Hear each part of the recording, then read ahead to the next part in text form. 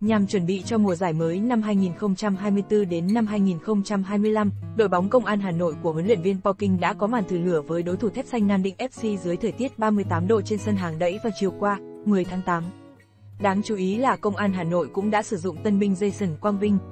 Theo nguồn tin của báo giới, hai bên đã ký hợp đồng có thời hạn 2 năm, kèm mức lót tay được cho là khoảng 10 tỷ đồng, mùa giải.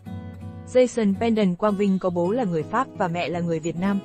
Cầu thủ này từng thi đấu ở cấp độ trẻ của Pháp gồm U16 và U18. Ở cấp câu lạc bộ, Jason Pendon Quang Vinh từng có nhiều năm chơi bóng ở giải hạng 2 Pháp, Mỹ cho các đội Sosu, New York Red Bull và Quevilly Roang.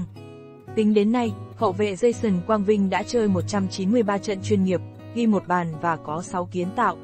Ở thời điểm đỉnh cao phong độ, Jason Pendon Quang Vinh từng được chuyên trang định giá cầu thủ Transfermarkt định giá lên tới 900.000 euro vào thời điểm tháng 6 năm 2020.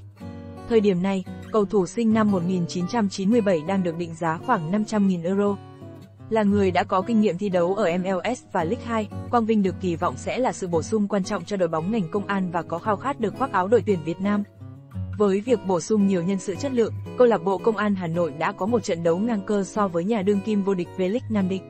Kết quả chung cuộc, đội chủ nhà đã giành chiến thắng với tỷ số 3-2. Ở trận này, hai bên đều tung vào sân đội hình mạnh nhất để đánh giá thực lực. Ngoài Jason, câu lạc bộ Công an Hà Nội cũng trình làng tân binh Ellen Graffiti người từng thi đấu rất ấn tượng tại câu lạc bộ Bình Định mùa trước.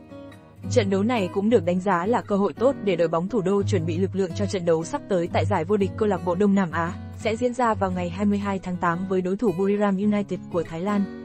Trong trận đấu giao hữu chuẩn bị cho mùa giải mới năm 2024 đến năm 2025, Công an Hà Nội đã giành chiến thắng 3, 2 trước Nam Định trên sân hàng đẫy, với sự góp mặt của tân binh Jason Quang Vinh. Hậu vệ gốc Pháp này đã ký hợp đồng 2 năm với đội bóng ngành công an, kèm mức lót tay khoảng 10 tỷ đồng mùa giải. Quang Vinh từng thi đấu tại các giải hạng hai Pháp và Mỹ và được kỳ vọng sẽ là sự bổ sung quan trọng cho câu lạc bộ Công an Hà Nội. Trận đấu cũng là cơ hội để đội bóng thủ đô thử nghiệm lực lượng trước khi bước vào trận đấu tại giải vô địch câu lạc bộ Đông Nam Á gặp Buriram United, Thái Lan vào ngày 22 tháng 8.